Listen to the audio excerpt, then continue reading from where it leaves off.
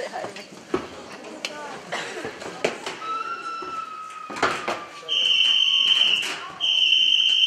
As according to Scotland Yard, the crime took place at 24 Coleman Street, Paddington. The murdered woman was Mrs. Maureen Lyon. In connection with the murder, the police are anxious to interview a man seen in the vicinity, wearing a dark overcoat, black scarf, and a soft felt hat. Mrs. Barlow? Mrs. Barlow? It's cold. Oh, it really does look nice. Ah! How stupid of Giles. Ah, Gosh.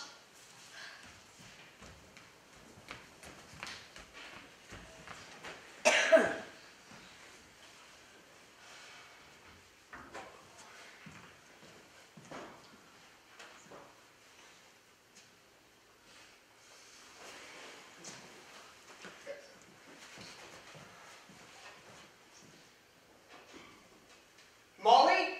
Molly! Molly, where are you? Doing all the work, you brute. There you are. Leave it all to me. Shall I stook up the attic? Done. Hello, sweetheart. Ah, your nose is cold. I've just come in. Wh- Where have you been? Surely you haven't been out in that weather. I had to go down to the village for some stuff I'd forgotten. Did you get the chicken dinner? No, it wasn't the right kind. I went on to another dump, but that wasn't any good either. Practically a whole day wasted. The car was skidding like anything. What do you bet we're not snowed up tomorrow? Oh dear, I do hope not. If only the pipes don't freeze. We'll have to keep the central heating well stoked up. Not too good. I do wish they'd send the Coke along, because we haven't any too much. Oh, I do hope everything goes well at first. First impressions are so important. Now, Everything's figured out. Nobody's arrived yet, I suppose. No, thank goodness. I think everything's in order. Mrs. Barlow's hooked it early, afraid of the weather, I suppose. A nuisance these daily women are. That leaves all the work on your shoulder. And yours. This is a partnership. So long as you don't ask me to cook. No, that's my department. Anyways, we've got plenty of tins in case we are snowed up. Giles, do you think it'll be all right? Got cold feet, have you? Are you sorry we didn't sell the old place now when your aunt left it to you instead of having this mad idea of running it as a guest house? No, I'm not. I love it. And speaking of a guest house, just look at that. Aha! Pretty good, huh? It's a disaster. Don't you see? You've left out the S. Monkwell instead of Monkswell. What? Oh, uh, goodness, so I did. However did I come to do that? But it doesn't really matter, does it? Monkwell is just as good as anything. You're in disgrace. Go stook up the central heating, will you? Across that icy yard? Oh. Shall I make it up for the night? No, you don't do that until 10 or 11 o'clock at night. How appalling. Hurry up. Someone may arrive at any minute now. You have all the rooms figured out. Yes, Mrs. Boyle, front floor poster room, Major Metcalf, blue room, Mr. Wren, oak room, and Miss Casewell, east room. What all these people will be like. Oughtn't we to have collected rent in advance? No, I don't think so. Well, we're rather mugs at this game. They bring the luggage. If they don't pay, we keep the luggage. It's simple. Can't help feeling we ought to have taken a correspondence course in hotel keeping. We're sure to be had in some way. Their luggage may be just bricks wrapped up in old newspapers, and where should we be then? They all wrote from very good addresses. That's what servants with forged credentials do. Some of these people may be criminals trying to hide from the police. I don't care what they are, so long as they pay us seven guineas each week. You're such a wonderful woman of business, Molly.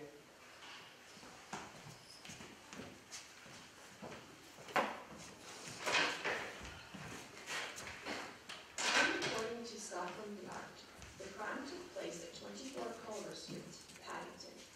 The murdered woman was a Mrs. Maureen Lyon. In connection with the murder, the police are anxious to interview a man seen in the vicinity wearing a dark overcoat, light scarf, and a soft felt hat.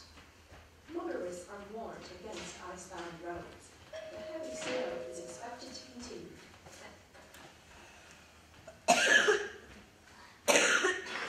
How do you do? Thanks so much. Weather's simply awful. My taxi came from the gate. Wouldn't attempt to drive. No sporting instinct. Are you Mrs. Ralston? How delightful. My name's Wren. How do you do, Mr. Wren? You know, you're not at all as I pictured you. I've been thinking of you as a retired general's widow, Indian Army. I thought the whole place would be terrifically grim and empty-heavish, and simply filled with Bel- Berna- brass. But instead, it's heavenly, quite heavenly. Lovely proportions. That's a fake. Ah, but this table's genuine. I'm simply going to live, love this place. Have you got any wax flowers or birds of paradise? No, I'm afraid not. What a pity. Well, what about a sideboard? A purple plummy mahogany sideboard with great solid carved fruits on it? Yes, actually we do, in the dining room. In here? I must see it. Oh, what the heck? Do come and warm yourself. Absolutely perfect. No better on respectability. But why do away with the center mahogany table? Little tables just spoil the effect. We thought the guests would prefer them. Uh, this is my husband. How do you do? Terrible weather, isn't it? Brings on back to Dickens and Scrooge. and That irritating Tiny Tim. So bogus. Of course, Mrs. Ralston, you're absolutely right about the little tables. I was being carried away by my feeling for period. If you were to have a mahogany dining table, you'd have to put the right family around it.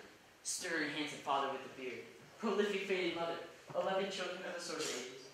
A grim governess and somebody named Poor Harry. The poor relation who acts as General Dog's body and is very grateful to have been given such a good home. I'll take this upstairs for you.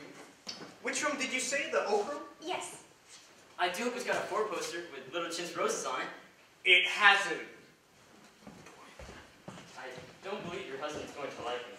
How long have you been married? Are you very much in love? We've been married just a year. Perhaps you'd like to come see your room.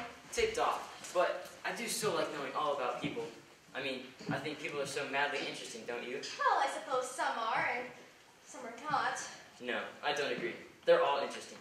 Because you never really know what anyone is like, or what they're really thinking. For instance, you don't know what I'm thinking about now, do you? Not in the least. You see, the only people that know what other people are like are artists. And they don't know why they know it, but if they're portrait painters, it comes out on the canvas. Are you a painter? No, I'm an architect. My parents, you know, baptized me Christopher in the hope of me becoming one. Christopher Wren, as good as halfway home. Actually, of course, everyone laughs about it, makes jokes about St. Paul's. However, I may yet have the last laugh. Chris Wren's prefab nest may yet go down in history. I think I'm going to like it here. I find your wife most sympathetic, Indeed. and really very beautiful. Oh, don't be absurd. There, isn't that for an Englishwoman? Compliments always embarrassing. European women take compliments as a matter of course, but English women have all the feminine spirit crushed out in them by their husbands. There's something very boorish about English husbands. Come up and see your room. Shall we? Can you start up the hot water boiler?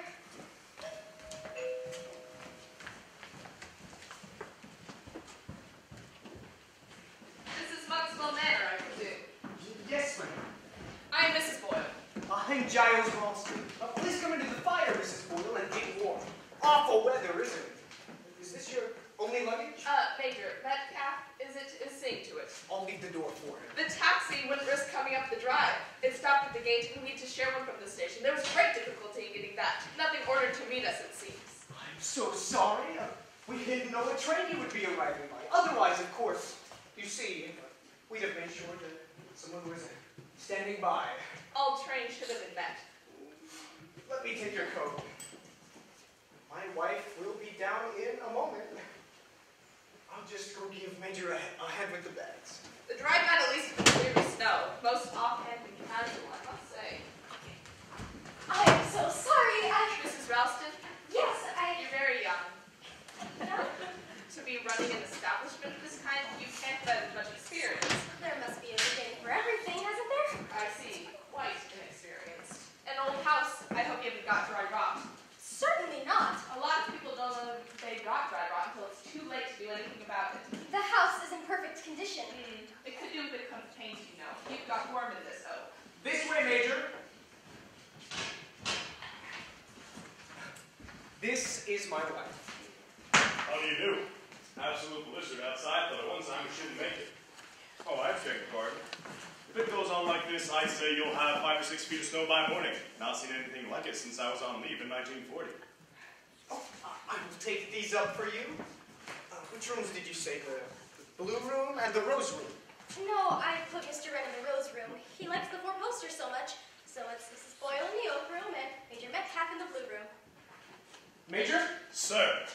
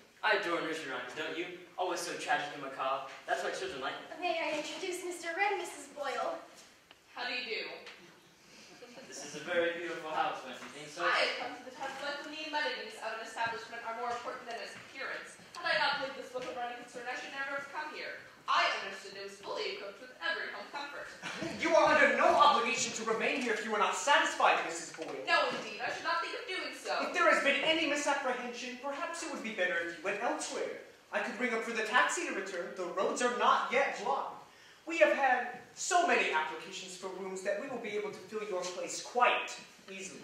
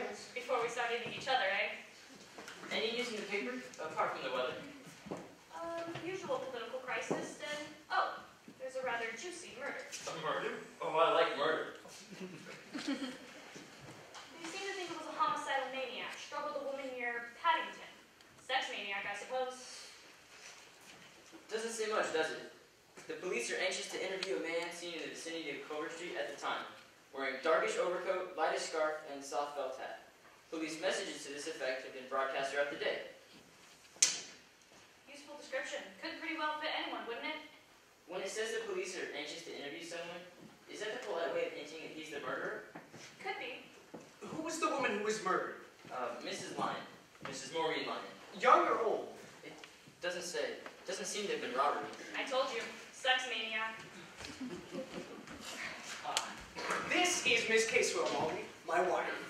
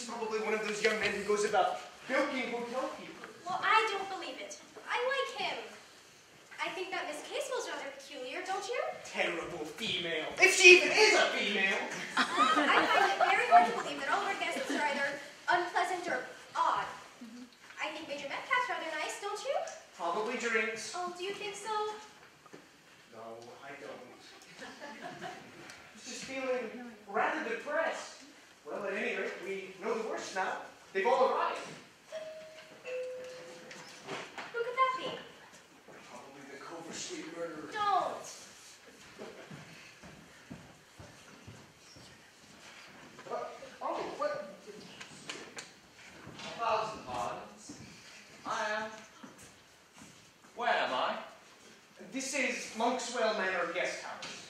But what stupendous good fortune, madam, when an answer to prayer, a guest house, and a charming hostess. My Rolls Royce, alas, is run into the snow. Blinding snow everywhere. I think to myself, I may freeze.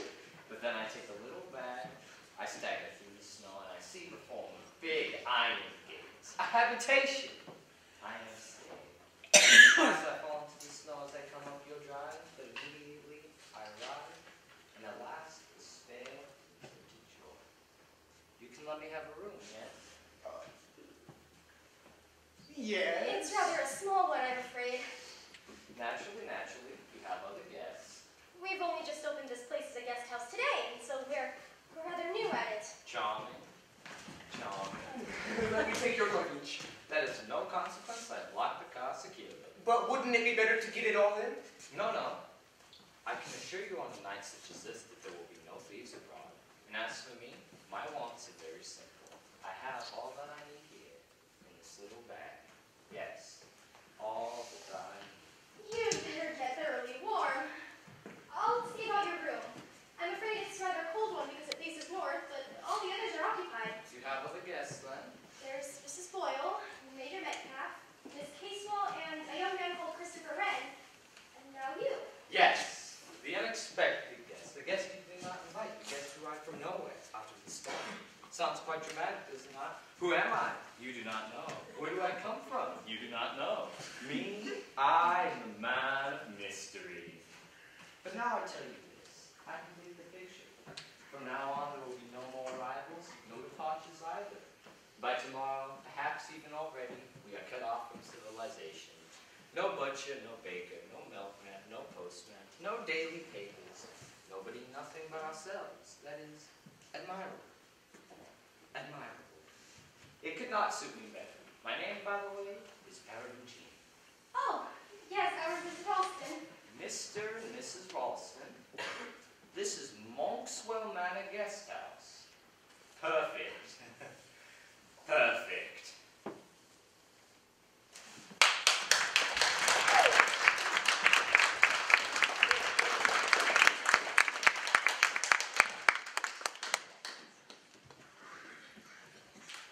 I consider it most dishonest not to have told us they were only just starting this place. Well, everything has got to have a beginning, you know. Excellent breakfast this morning. Good coffee, scrambled eggs, homemade marmalade, all nicely served too. The woman does it all herself. Amateurs, there should be a proper staff. Excellent lunch too. Corned beef. But very well disguised. Red wine in. Mrs. Ralston promised to make a pie for us tonight. These radiators are not very hot. I shall speak about it. Very comfortable beds too. At least mine was. Hope yours was too. It was quite adequate. I see why the best bedroom should have gone to that very peculiar young man. Got here ahead of us. First come, first served. From the advertisement, I got quite a different impression of what this place would be like. A comfortable riding rooms and a much larger place altogether, with fridge and other amenities. Regular old Tabby's delight. I beg your pardon. or I mean, I quite see what you mean. No, indeed. I shan't stay here long. no, no, I don't suppose you will. really, that is a very peculiar young man. Unbalanced mentally, I shouldn't wonder. Think he's escaped from a lunatic asylum? I should be a little surprised. Giles? Yes? Can you shovel the snow away again from the back door?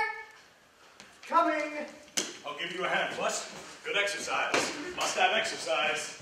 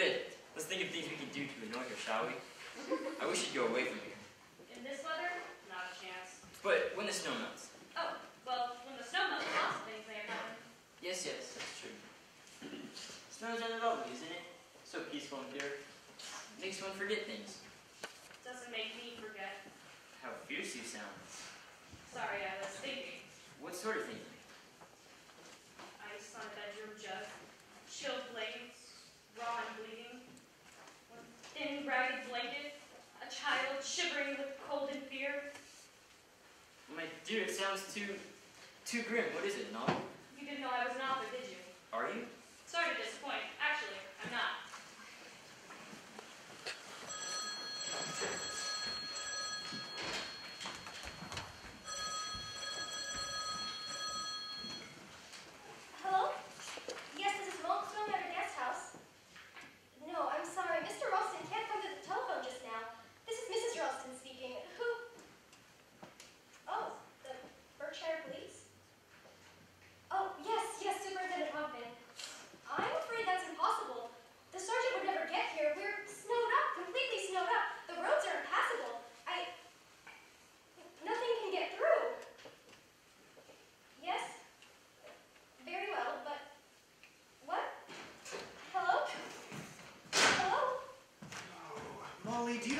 Spain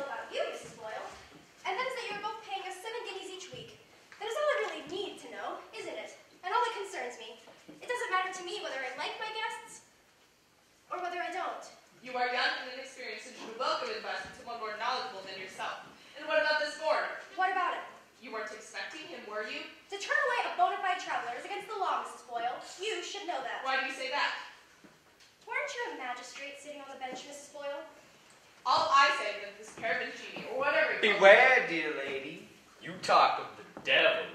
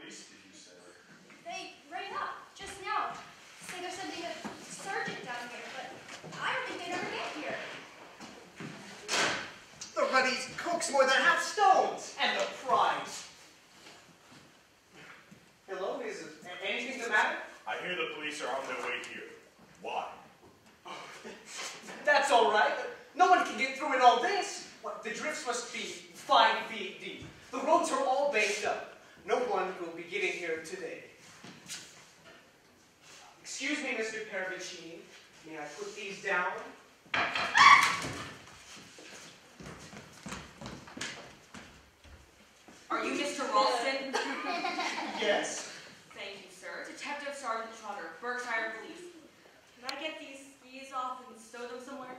Go round to the front door. I'll meet you there. Thank you. I suppose that's what we pay our police force for nowadays. Going and enjoying themselves at winter sports. Why did you send for the police, Mrs. Walls? But I didn't.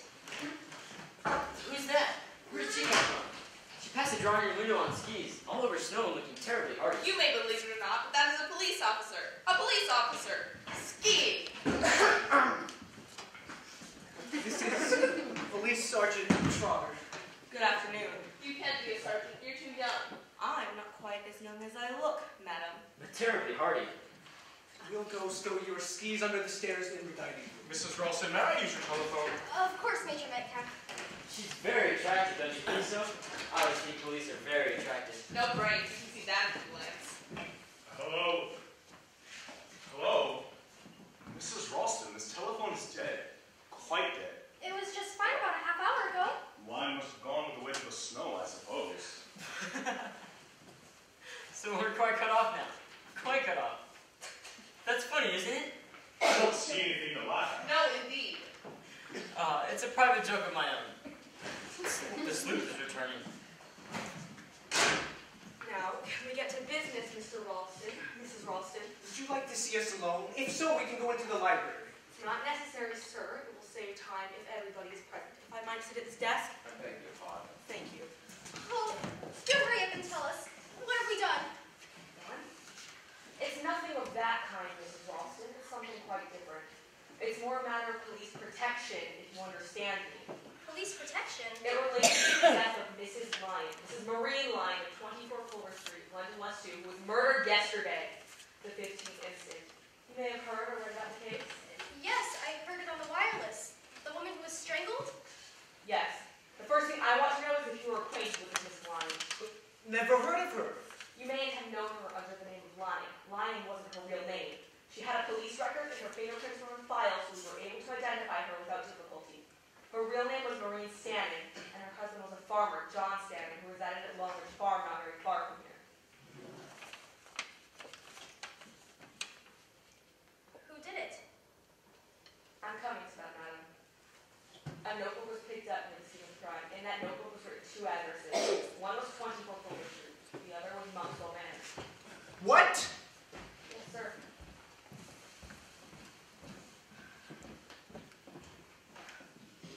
That's why Superintendent Hogben, on receiving this information from Scotland Yard, thought it imperative for me to come in and find out if there was any connection between this house or anyone in this house in the Longridge Farm case. There's nothing, absolutely nothing to do with those children. It must be a coincidence. Superintendent Hogben doesn't think it's a coincidence, sir. He'd have come himself if it had been in any way possible. Under the weather conditions and as I can see, he sent me with instructions to get full particulars on everyone in this house, to report back to him by phone, and to take what measures I thought fit to ensure the safety of this household. Safety? What danger does he think we're in? Good gracious, you're not suggesting that someone will be killed here? I don't want to frighten any of the ladies, but frankly, yes, that's the idea. But why? That's what I'm here to find out. Now you state, sir, that you yourself have never had any connection with Is there anything you've yet to tell us, Sergeant? Yes, madam, actually. Below the two addresses was written three blind mice. And on the dead woman's body was a paper with this is the first written on it. And below the two addresses, a drawing of three little mice and a bar of music. The music was to the tune of the nursery rhyme, Three Blind Mice. You know how it goes. Three Blind blind mice. mice, see how they run. They all ran after the farmer's wife. Oh, that's horrible! At Longridge Farm, John Stanningworth, there were three children and one died. Yes, the youngest, a boy of 11. What happened to the other two? One was adopted by someone who don't know their present whereabouts. The other would now be about 22. Deserted from the army and has not been heard of since. According to the army psychologist, was definitely schizophrenic, a bit queer in the head, that's to say. And they think it was that one who may have killed Mrs. Li- uh, Mrs. Stanning Yes, and has become a homicidal maniac that will turn up here and try to kill someone. But why? that's what I've got to find out from you. Now you say, sir, you've never had any connection with any of the Longridge Farm business. No. And the same goes for you. I. No, no, no connection. What about servants? We haven't got any servants. Uh, that reminds me. Do you mind, Sergeant Trotter, if I went to the kitchen? I'll be there if you need me. Quite all right, Mrs. Ralston. Now, can I have all your names, please? This is quite ridiculous. We are really staying at a kind of hotel. We only arrived yesterday. We've nothing to do with this place. Yes, but you planned your stay here beforehand. Yes, I'll accept Mr. Fireman Chief. My call of attendant is no good. I see. What I'm getting at is anybody who's been following you around might very well know that you've been staying here. Now, there's just one thing I want to know, and I want to know it quick. Which one of you has some connection to that business at Longridge Farm? You're not being very sensible, you know. One of you is in danger, deadly danger. I've got to know which one that is. All right. I'll ask you first. You seem to have arrived here more or less by accident, Mr. Para. Power, power of cheating. But, my dear inspector, I know nothing, nothing of what you've been talking about. I'm a foreigner in this country. I have no knowledge of these local affairs of bygone years. Mrs. Boyle, I don't see. Really, I consider it an impertinence. Why should I have anything to do with such? This distressing business. Miss. Casewell. I never heard of Longridge Farm and I know nothing about it. You, sir? Metcalf, Major. Read about the case in the papers at the time. I was stationed at Edinburgh. No personal knowledge. And you? Christopher Wren. I was a mere child at the time. Don't remember even hearing about it. And that's all you have to say. Any of you. If you get murdered, you'll have yourself a good. Now that Mr. Ralston had to look around the house. My dearest, how melodramatic. She's very attractive, isn't she? I do admire the police. So stern and hard-boiled. Quite a thrill, this whole business. Three blind lines. How did the tune go? Really, Mr. Wren? Don't you like it? Oh, but it's a signature tune. Signature of a murderer. Just fancy. What a kick you must be getting out of it. Melodramatic rubbish. I don't believe a word of it. But just wait, Miss Boyle, till I creep up behind, and you feel my hands in the throat. Stop! That'll do, Christopher. It's a poor joke anyway. In fact, it's not a joke at all. Oh, but it is. That's just what it is. A madman's joke. That's just what makes it so delicious deliciously macabre. If you could just see your faces. A singularly ill-mannered and neurotic young man. Where's Giles? Taking our police officer on a conducted tour of the house. Your friend, the architect, has been behaving in a most abnormal manner. Young fellows seem nervy nowadays. Dare say he'll grow out. Nerves, I've no patience with people who say they have nerves. I haven't any nerves. No?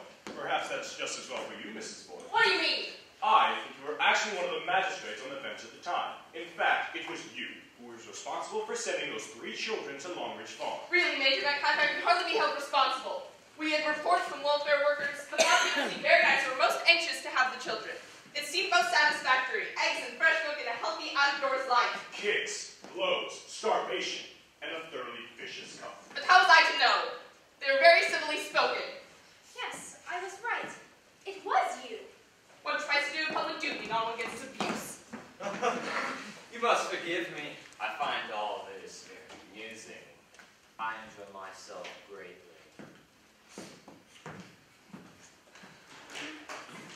I never did like that man.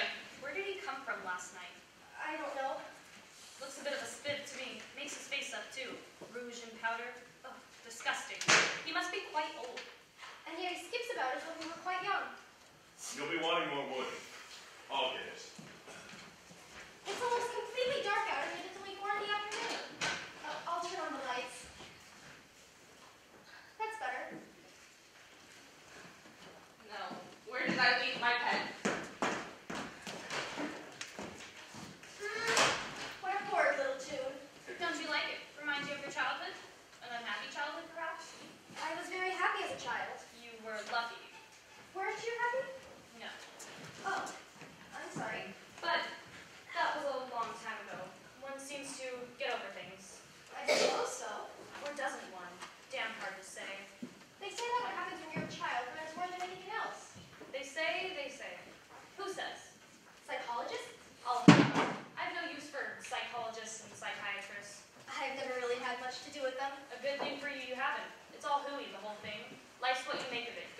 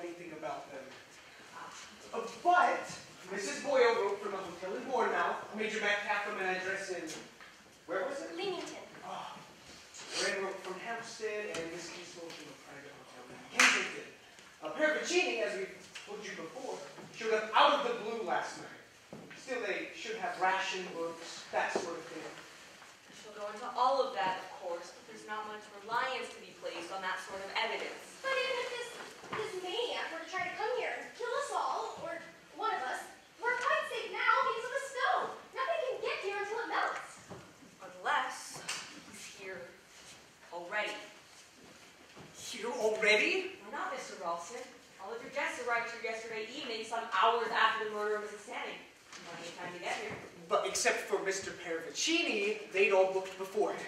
Well, why not? These crimes were planned. Crimes? What crime? There's only been one crime in Culver Street. What makes you so sure there will be another one here? That it will happen here? No. I hope to prevent that. That it will be attempted? Yes. I still can't believe it. It's too fantastic. It isn't fantastic, it's just facts.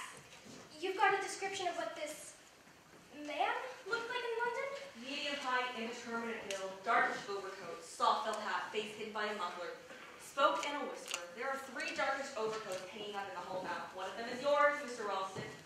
There are three lightish felt hats. I still can't believe it. You see, it's this telephone wire that worries me. If it's been cut, I must go to the kitchen and get on with the vegetables.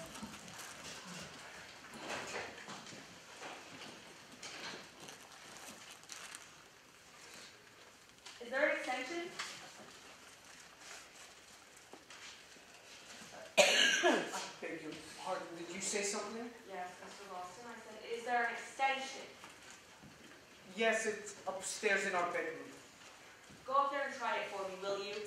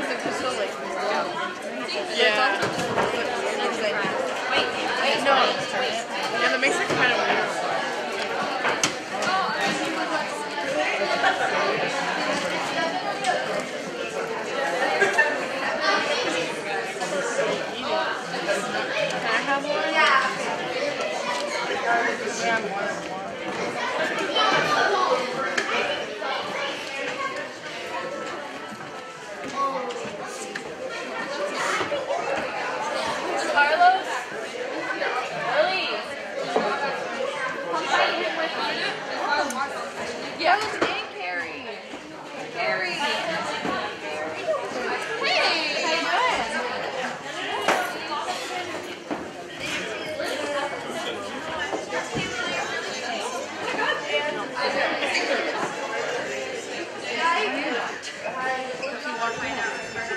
I swear on my, I swear on my life. Yeah, I swear on my life. I swear on my life. I don't know, we're walking out the room. No, no, not here. What the heck? She's, what the heck? Okay, hi. I was like, what the? We're in front we walked in with her. we walked. She's like, we walked in with Lily. I was like, no, we didn't. She's like, yes, we did. Yeah. That just blew my mind a little bit. Yeah, I'm a little freaked out. I know you're like, she is what? I told you. I said I swear on my I know. I mean, like I see you all the time via Snapchat, but like Via- I haven't I seen you in know. person for a while. No. Same, but that really blew my mind for a second. I was like, what?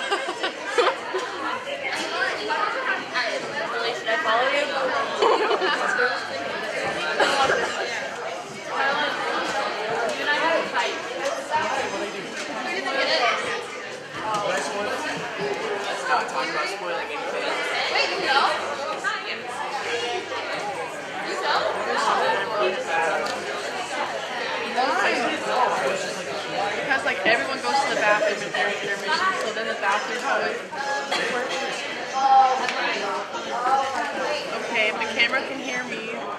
Sophie says hi. the camera can hear me.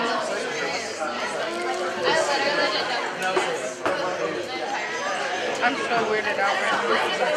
About the Lily thing? About everything. I was like, we walked in with you and I just say hi. Yeah, because like we were walking in walked by and then like, oh, I think you grabbed my wallet. And then we went back. Oh, really? Oh, that's why. We like, we saw them, we weren't passing, but like you were like not really paying attention. That makes sense. I thought you were talking about like, no, not when we came in. No, no, like, like no, like when we came. So when are you going back to? Are you gonna have Jane do it? No, I was thinking about one of the adventures. She's I know, and I was over there and I saw her. I was like, oh, that's your. We started and I was brother like, yeah, but me go to your shop to like check prices and stuff. He's like, well, sixty-five dollars all over the. No, it's not. Do it. But I want, I, I don't want all over color. I still want to keep this color under. So I only want to dip it. Oh, remember how I did that? Yeah. Still with that guy? I can get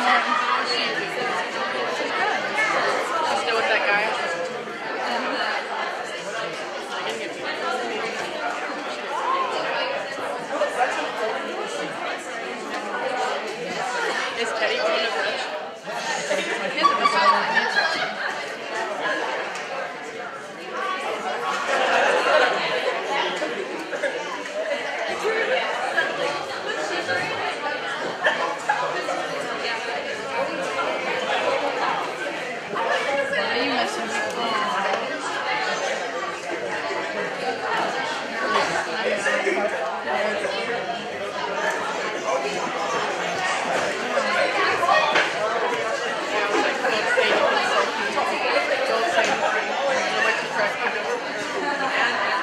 Well, I hate typing the wrong one. When I, when I type it wrong, I always correct it. Yeah, I cannot do the wrong there or two. Or two. Or two. You know, T-O or T-O-O. Oh. Or T-W-O. I don't know who would do T-W-O. Well, no one. I would say there's another two.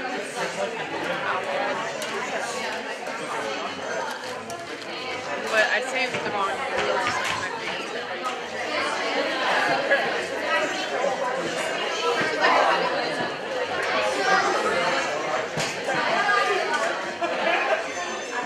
How you doing, Logan? Doing alright. Good. That's cool. Yeah. Just got out of AP calculus. Good choice. Are you a senior? Oh, my heart. Okay, that hurt a little bit, actually. Uh, I don't know why I thought you were a junior. Oh man, That was last year. I know. It's freaky. Is it? Do you like it? Everyone's like senior year. Woo! I hated my senior year. I hate, I hate senior year. I'm gonna be that one kid who, like, you, you don't text me, you have to show up to school on the last day. I'm gonna be the one who graduates and then shows up on the last day. Yeah.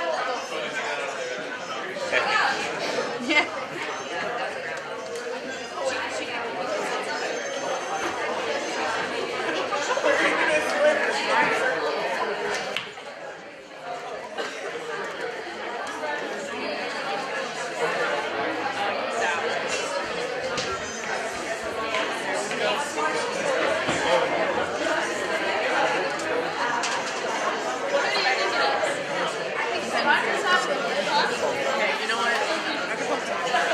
What? I never do it. And I'm trying to like capture more memories.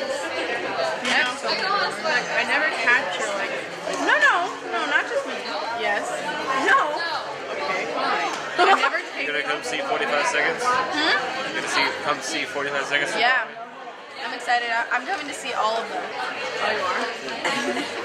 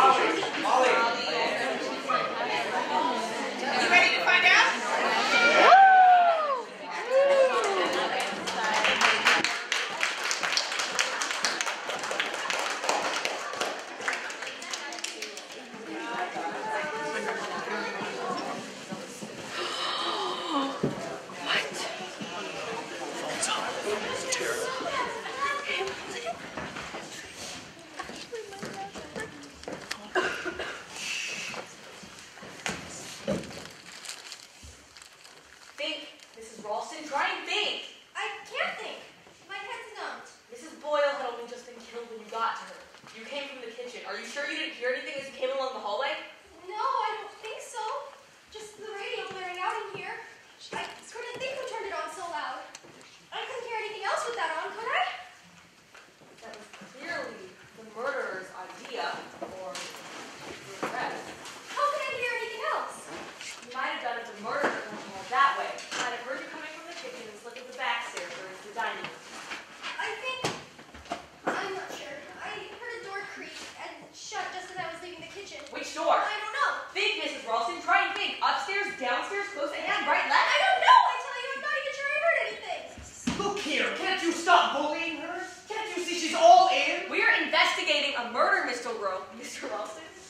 Up to this point, nobody is taking this thing seriously. Mrs. Boyle held out on me. You all held out on me. Mrs. Boyle is dead. Unless we get to the bottom of this quickly, mind. There may be another death. Another? Nonsense. Why? Because there were three little blind mice. A death for each of them? Yes. But then there would have to be some connection. I mean, some other connection with the Longridge Farm business. Yes, there would have to be that. But why another death here? Because there were only two addresses and they don't go be found. Now, at 24 Homer Street, there was only one possible victim. She's dead. But here at Monkswell Manor, there's a wider field. Now, surely it would have to be a most unlikely coincidence that there would be two people here having to do with the Longridge Farm business. Given the certain circumstances, it would be so much of a coincidence. We get out Miss Casewell. Now, I want to get down quite clearly where everyone was at the time Mrs. Boyle was killed. I've already got Mrs. Rolsby's statement. You were in the kitchen preparing vegetables. You came out of the kitchen, along the passage, through the swing door, into the hall, and in here. The radio was blaring, but the lights were turned off. You switched the lights on, saw Mrs. Boyle, and screamed. Yes, I screamed and screamed and less people came. Yes, as you say, people came, a lot of different people coming from different directions, all arriving more or less at the same time. Now then, Mr. Ralston, you went up to the room you and Mrs. Ralston occupied to try out the extension telephone. Where were you when Mrs. Ralston screamed? I was still up in the bedroom. The extension telephone was dead too. I opened the window to see if I could see any sign of the wires being cut, but I couldn't. As soon as I closed the window, I heard Molly scream and I rushed down. Those simple actions took you rather a long time to complete, did you think? I don't think so. I should say you definitely took your time over them. I was thinking about something. Very well. Now then, Mr. Wright, have you account of where you were? I'd been in the kitchen, seeing if I could do anything to help Mrs. Ralston. I adore cooking. After that, I went into my bedroom. Why? It's quite a natural thing to go to one's bedroom. I mean, one does want to be alone sometimes. You went to your bedroom because you wanted to be alone. And I wanted to brush my hair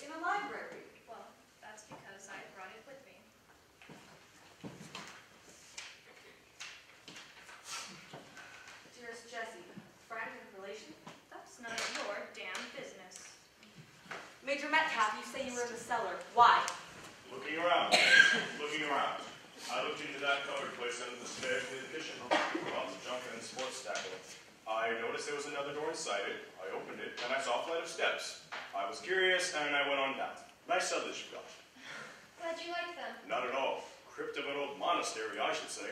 Probably why they call this place Monkswell. We're not engaged in antiquarian research, Major Metcalf. We're investigating a murder. Now, Mrs. Ralston says you heard a door shut with a creak. That particular door shuts with a creak. It could be, you know, that after killing Mrs. Boyle, the murderer crept up the back stairs and into the dining room, holding the door after. A lot of things could be. There would have been fingerprints on the inside of the cupboard. Mine are all right, but most criminals are careful enough to wear gloves, aren't they?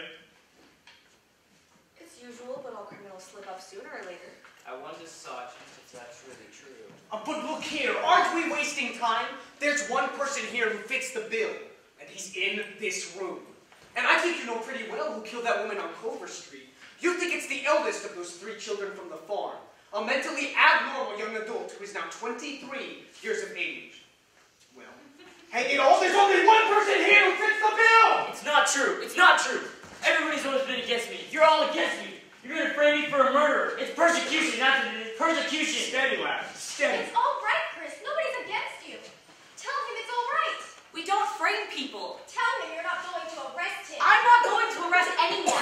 to do that, I've got to have evidence, and I haven't got any evidence yet. I think you're crazy, Molly. And you too! There's only one person who fits the bill, and if only as a safety measure, he ought to be put under arrest! It's only Wait, fair. Charles. Wait. Sergeant Trotter, can I can I speak to you for a minute? Certainly, Mrs. Ralston. Will rest of you go into the dining room, please? I'm safe. No, Giles. You too, please. I'm safe! I don't know what's gotten into you, Molly! Please. Yes, Mrs. Ralston, what is it you wanted to say to me? Sergeant Trotter, you think that this crazy killer is the eldest of those three children at the farm, but you don't actually know that, do you? We don't actually know a thing. All we've got so far is that the woman who joined with her husband in ill-treating and starving those children has been killed, and that the woman magistrate who was responsible for putting them there has been killed. The telephone wire that leads me with police headquarters has been cut. But you don't actually know that. It might have just gone down with the snow. No, Mrs. Ralston, the line was deliberately cut. It was cut outside just by the front door, cut down the place. I see. Sit down, Mrs. Ralston. But all the same, you don't actually know. I'm going by probability. It all points one way. Mental instability, childish mentality, desertion from the army, and the psychiatrist's report. Yes, I know, and therefore it all seems to point to Christopher. But I don't believe it is Christopher. There must be other possibilities. Such as, Well, hadn't those children any relations at all? the mother was a drunk. She died soon after the children were taken from her. What about the father? He was an army sergeant serving abroad. He's alive, he's probably been discharged from the army by now. You don't know where he is now. Tracy may take some time, but I can assure you, Mrs. Ralston, that he's in every in. But you don't know where he is at this minute. And if the eldest is mentally unstable, chances are the father is as well. It's a possibility. If he came home after being prisoner with the Japanese, and having suffered terribly, come to find his wife dead, and that his children had gone through some horrible experience, and that one of them had died through it, he might go off his head a bit and want revenge. Only surmise. But it's possible. Oh yes, Mrs. Ralston, it's quite possible. So the murderer may be middle-aged, or even old. When I said the police had rung up, Major Metcalf seemed frightfully upset. He really was. I saw his face.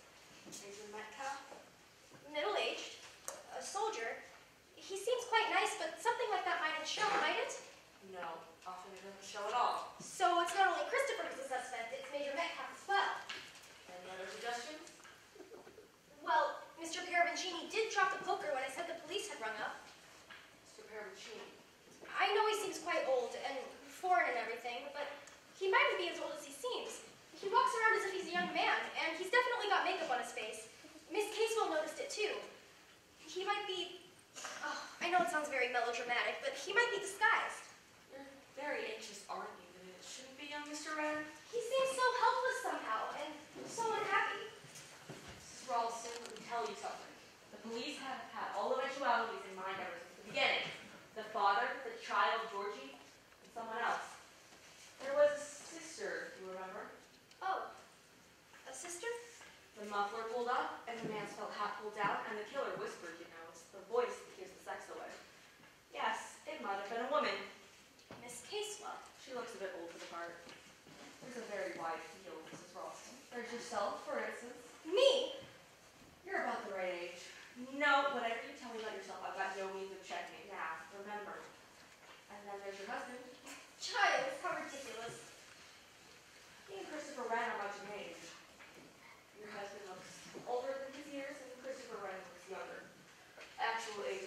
To tell. How much do you know about your husband? How much do I know about Giles? Don't be silly. You've been married how long? Just a year. And you met him where? At a dance in London. We went to a party. Did you meet his people? He hasn't got any people. They're all dead.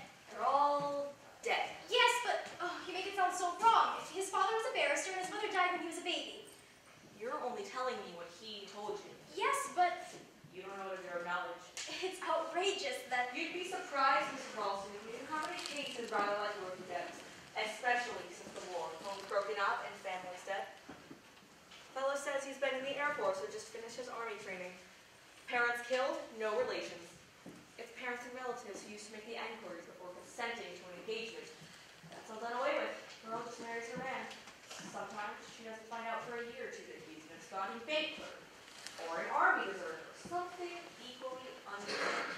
Tell me, Mrs. Ralston, how long have you known Giles when you married him? just three weeks. But And you don't know anything about him? that's not true. I know everything about him. I know exactly the type of person he is. He's Giles, and it's absolutely absurd to suggest he's some crazy homicidal maniac. He wasn't even in London yesterday when the murder occurred. Where was he? Here? No, he went to a sale to get some wire nettings for our chickens. Bring it back with him. No, he said it wasn't the right kind. Only 30 miles from London, aren't you? Oh, you got an ABC. I Only an hour by train, a little longer by car. I tell you, Giles wasn't in London. Just a minute, Mrs. Ralston.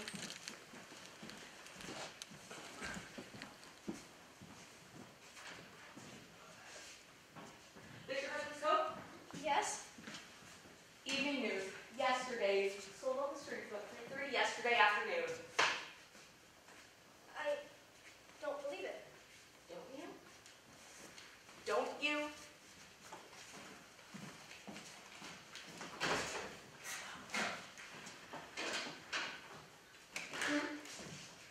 Molly, Oh, you startled me. where is she? Where is she gone? Who? The sergeant. Oh, she went out that way. If only I could get away. Somehow. Some way. Is there anywhere I can hide in the house? Hide? Yes, from her. Why? The Tomlin, they're also frightfully against me. They're going to say I committed these murders, particularly your husband. Never mind him. Listen, Christopher, you can't go on running away from things all your life. Why do you say that? Well, it's true, isn't it? Yes, it's quite true. You've got to grow up sometime, Chris. I wish I hadn't. Your name isn't really Christopher Wren, is it?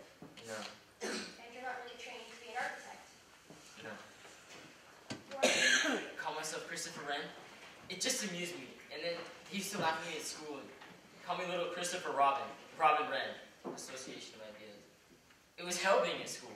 what's your real name? We needn't go into that. I ran away while I was, I was doing my army service. It was also beastly. I, I hated it. Yes, I'm just like the unknown murderer. I told you I was the one the specification fitted. You see, my mother. My mother. Yes, your mother?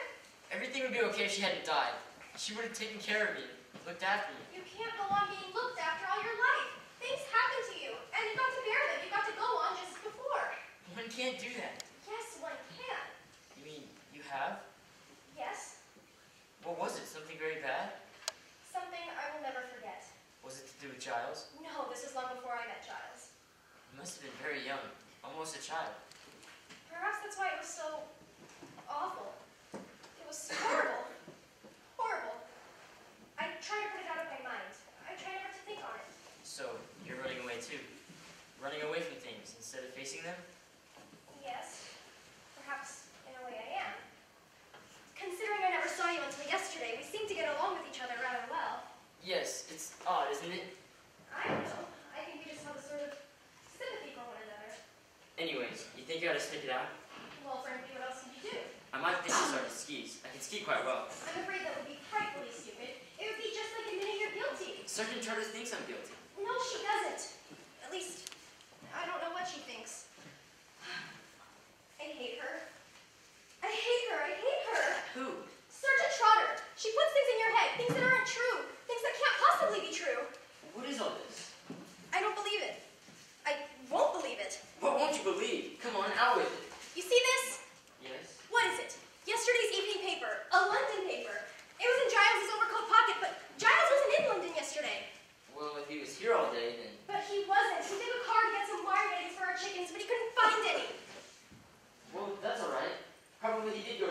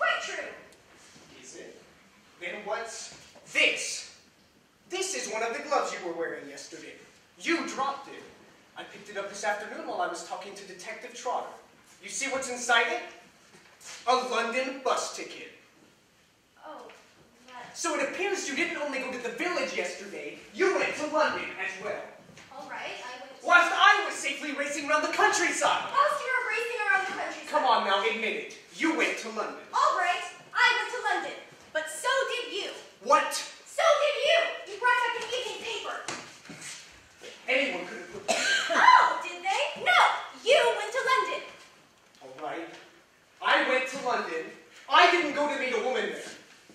Didn't you? Are you sure you didn't?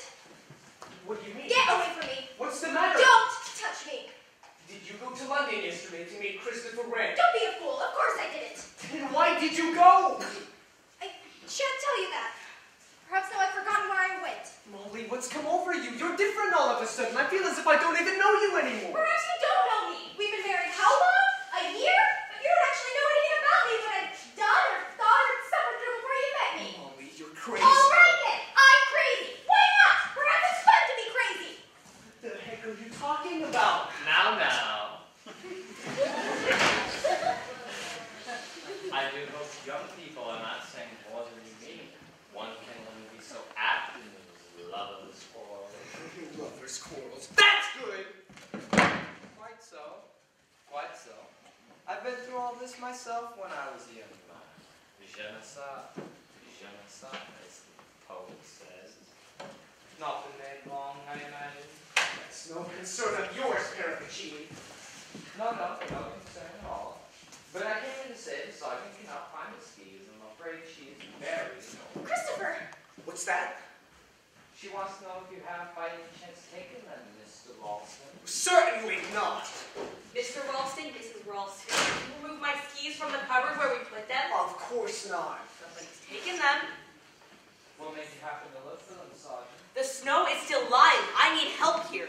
Reinforcements. I was going to ski over to Northampton to report on the situation. And now you can't. Dear, dear. Some of these things are that you certainly shan't do that. But the could be another reason, couldn't there? Yes. What? Somebody may want to get away. What did you mean when you said Christopher just now? Nothing. So our young architect is hooked it, has he? Very, very interesting. Is this true, Mrs. Ralston? Uh, oh, thank goodness.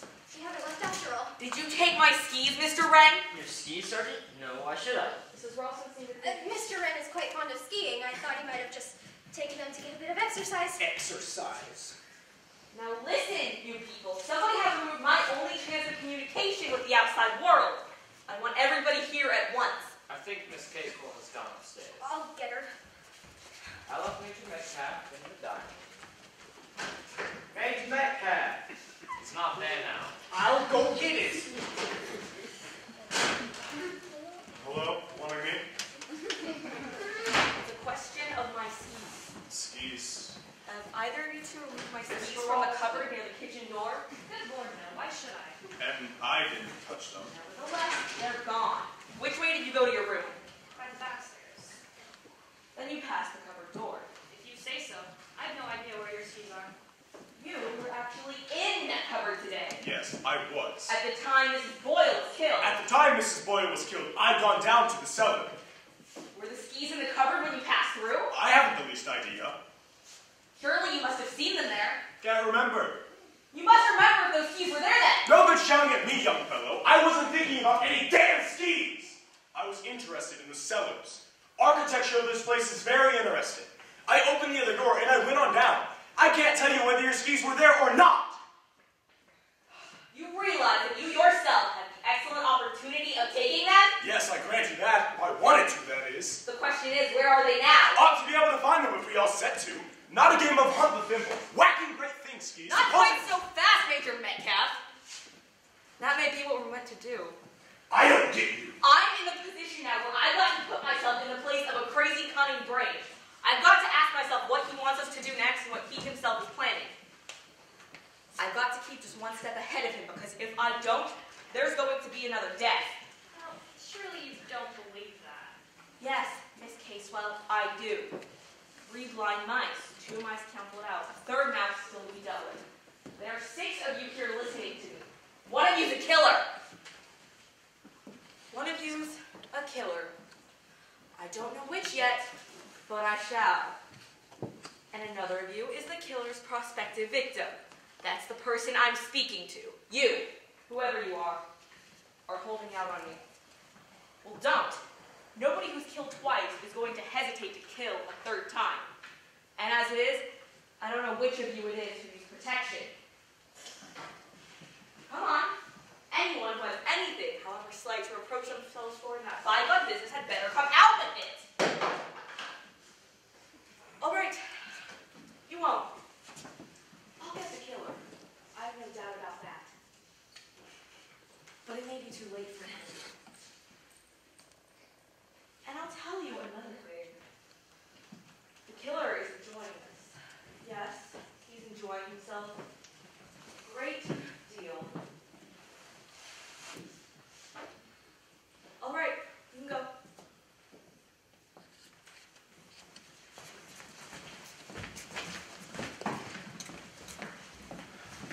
Talking of chicken tell me, have you ever tried chicken liver? That has been thickly smeared with foie gras.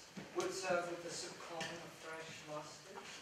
I will to the kitchen and we will see what we can concoct together. A charming occupation. I am helping my wife Paravicini.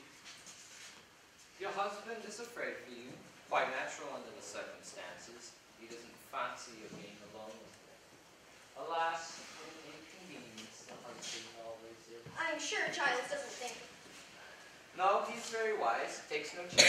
Can I prove to you, or to him, or to our dogged sergeant, that I am not a homicidal maniac?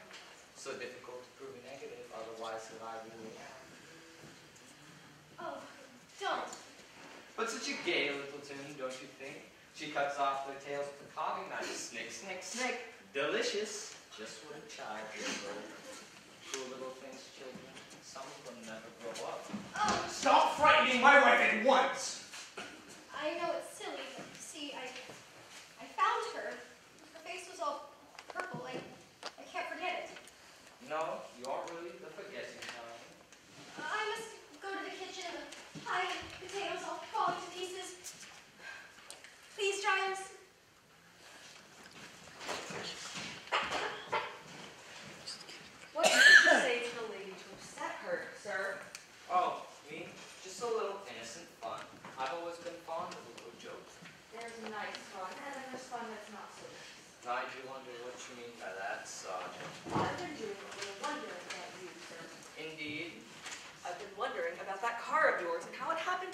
a snowdrift so conveniently.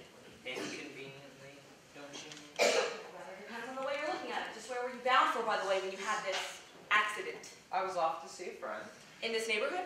Not so very far from here. And what was the name and address of this friend? Not really, Sergeant Trotter. Does that matter now? I mean, it has nothing to do with our current predicament. We always like the fullest information. What did you say this friend's name was? I didn't say. No, you didn't say. And it seems you're not going to say. Now that's very interesting. But there could be so many reasons, Sergeant. And war discretion, these jealous husbands. Rather old to be running around with the ladies at your time of life, aren't you? Having asked so many questions of people, you ask questions of yourself. Isn't that overdoing things a little? I might get an answer from myself. I don't get many from you. Well, well, try again. That is, if you have any more questions to ask. One or two. Where were you coming from last night? That's simple. From London. What address in London? I was staying at the Ritz Hotel. Very nice, too, I'm sure. What is your permanent address? I just like permanency. What's your business or profession? I play the markets. Stockbroker? No, no, you misunderstand me, Sergeant. Enjoying this little game, aren't you? So sure of yourself, too. I wouldn't be too sure. You're caught up in a murder case, and don't you forget it. Murder isn't just fun and games. Not even this murder, Sergeant. Trotter, dear me, you're very serious. I've always thought policemen had no sense of humor. Is the Inquisition over for the moment? For the moment, yes. Thank you so much. I will go back into the drawing room and see if anyone is sitting on seats in the grand piano. Just a minute, please. Perhaps you can sit down? What do you want? You heard the questions I was asking Mr. Bertini. I heard them. I'd like to have a little information from you. Well, what would you like to know? Full name, please. Leslie Margaret Catherine Casewell. Password. I spell it with a K. Quite so. Address? Villa Mariposa, Pine Dior, Majorca. That's in Italy? It's an island, a Spanish island. And your address in England? Care Morgan's Bank, Leadenhall Street. No other English address? No, And you've been staying since your arrival. at the Ledbury Hotel, Knightsbridge. What brought you home so married, Miss Casewell? Oh, I wanted somewhere quiet in the country. How long did you or do you propose to remain here? Until I finished what I came here to do. And what was that? And what was that? Was it you came here to do? I beg your pardon, I was thinking of something else. You haven't answered my question. I don't see, you know, why I should really. It's a strictly private uh, affair. All the same, Miss Casewell, You know, I don't think we'll argue about it. would you mind telling me your age? Not in the least. It's on my passport. I'm 24. 24. You're thinking I look older. That is true. Is there anyone who can vouch for you? Uh, my bank will reassure you as to my financial position, and I can refer you to a solicitor, a very discreet man. But as of right now, I'm in no position to offer you a uh, social reference. I've lived most of my life abroad. In Majorca? In Majorca, amongst other places. Were you born abroad? No, I left England when I was 13. No, I can't quite make you out, Miss Casewell. Does it matter? I don't know. What are you doing here? Seems to worry you. It does worry me. You went abroad when you were 13? 12, 13, thereabouts. Was your name Casewell then? It's my name now. What was your name then? Come on, tell me. What are you trying to prove? I want to know what your name was when you left England. It was a long time ago. I forgot. Things one doesn't forget. Possibly. Unhappiness? Despair? I dare say. What's your real name? I told you. Leslie Margaret Catherine Casewell. Catherine? What the hell are you doing here? God, I should have never come here. I always thought the police weren't allowed to give the third degree. I have merely been interrogating Miss Casewell. You seem to have upset her. What did she do? It's nothing. It's just all this talk of murder. It's so horrible. I'll I'll go up to my room. What can't you believe? Six impossible things before breakfast. Like the Red Queen. Yes, it's rather like that. Dear me, you look as though you've seen a ghost. I've seen something I ought to have seen before. Blind as a bat on this, but now we may be able to get somewhere. The police have a clue? Yes, Mr. Wright, at last, the police have a clue. I want everybody assembled in here again. Do you know where they are? Molly and Giles are in the kitchen. I've been helping Major Metcalf look for your skis. We've looked in the most entertaining places, but to no avail. I don't know where Pericini is. I'll get him. Mr. Pericini? Mr. Pericini? Yes, Sergeant. Little Bo policeman has lost his feet, doesn't know where to find them. Leave them alone, and they'll come home dragging the murderer behind them. What is all this? Sit down, Major. Mrs. Ralston. Must I come now? It's very inconvenient. Are things more important than meals, Mrs. Ralston. Mrs. Boyle, for instance, won't want another meal. That's a very tactless way of putting things, Sergeant. I'm sorry, but I want cooperation, and I intend to get it. Now then, Mr. Ralston, will you go up and get Miss Casewell? Tell her it will only be for a moment. Have your skis been found, Sergeant? No, Mrs. Ralston, but I have a very shrewd suspicion of who took them and of why they were taken. I won't say any more at the present moment. Please don't.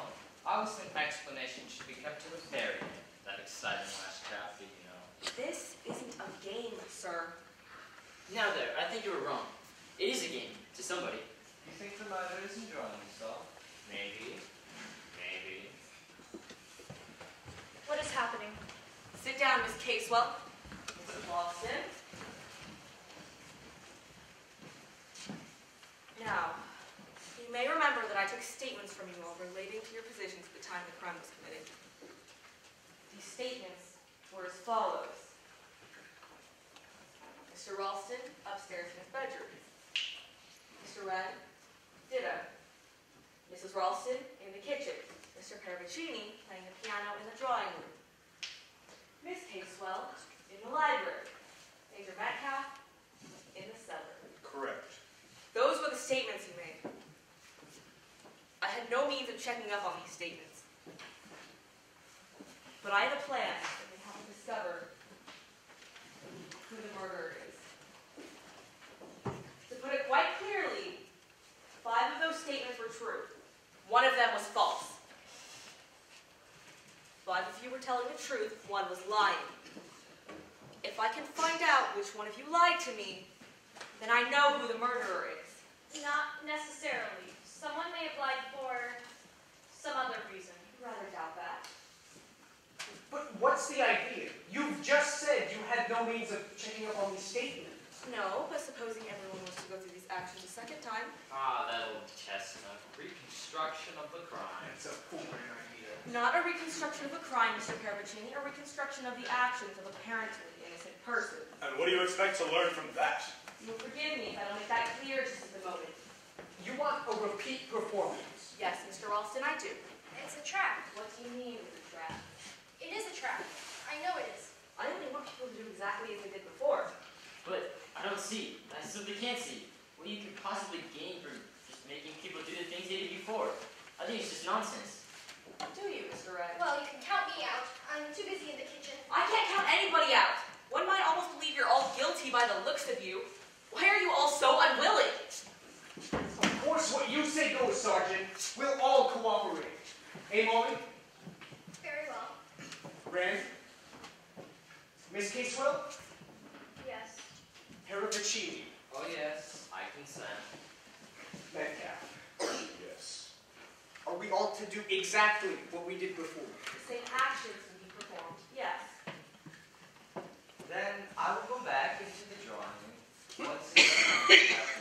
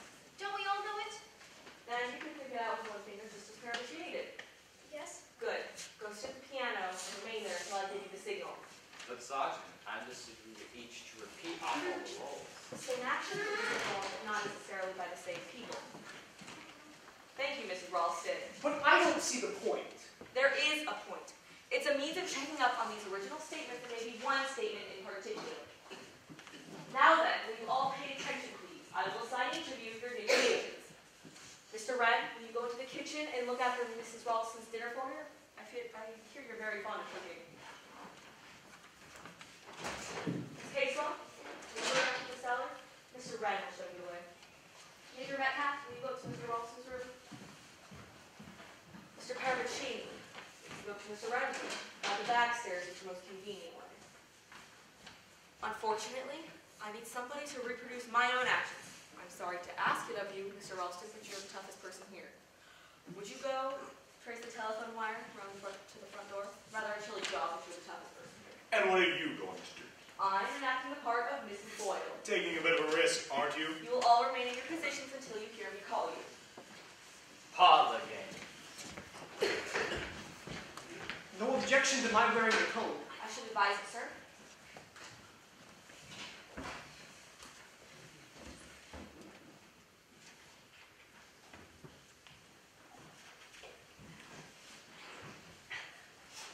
Austin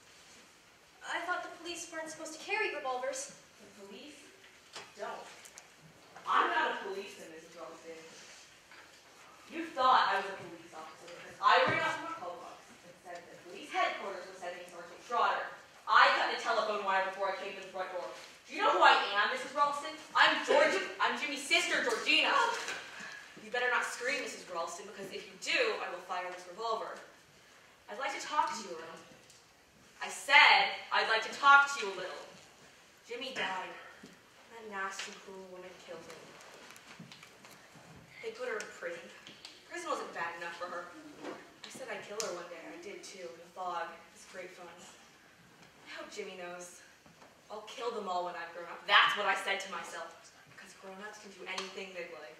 I'm going to kill you in a minute. You'd better not. You'd never get safely away, you know. Someone's hidden my skis. I can't find them, but it doesn't matter. I don't care if I get away or not. It's all been such fun watching you all pretending to be a police officer. That revolver is going to make a lot of noise. It will, rather. Much better to do it the usual way, take you by the neck. The last little mouse in the trap.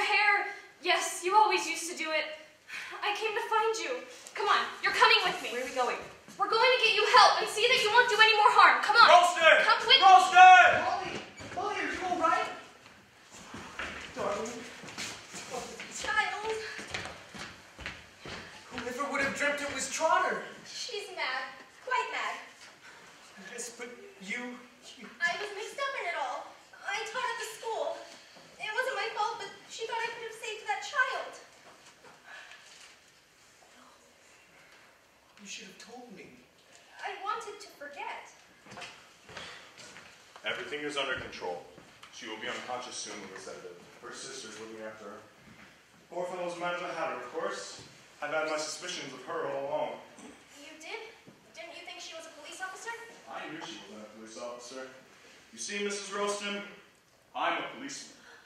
You? As soon as we got hold of the notebook with Monkswell Manor written on it, we saw it was vital to have somebody on the spot. When it was put to him, the real Major Metcalf let me take his place. I've been undercover. Couldn't understand it when Trotter turned up. And Casewell is her sister.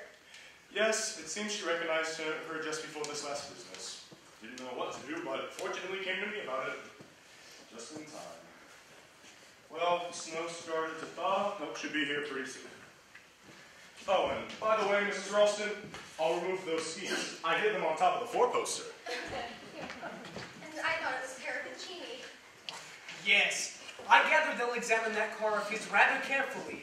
I shouldn't be surprised if they find a thousand or so Swiss watches hidden in the spare wheel. Yes, that's his business. Dirty, rotten lot of goods.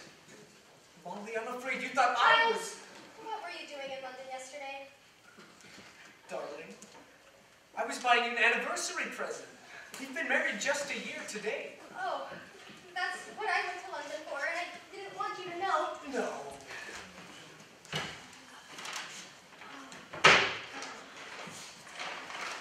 They're cigars. I do hope they're all right.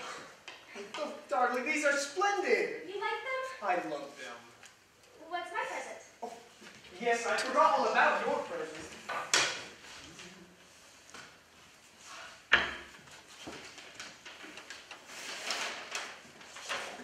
It's a hat. A hat? I practically never wear one. Just for the best. It's lovely, darling. Put it on. Later, when my hair's done up properly. It is all right, isn't it? The lady at the store said it was the last thing in hats. Mrs. Ralston! Mrs. Ralston! There's a terrible smell of burning coming from the kitchen! Oh,